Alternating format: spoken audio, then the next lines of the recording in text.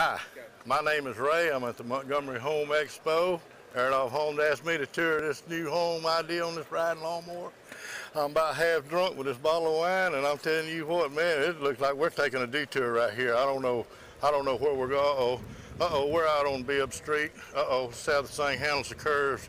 I can't, I, I'm too drunk. Mm. And now, let's get this thing, oh, all right, now we're on the interstate. I'll tell you what, hey, I'm gonna take another drink, huh?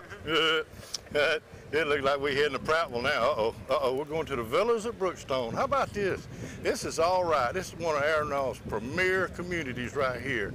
And I'm just too drunk to even notice the houses. Tell you, I'm, uh-oh, I'm getting a $7,000 allowance for doing this? All right, y'all some nice people. If I lived here, I'd be home. Well, I'm drunk. Uh, that's all.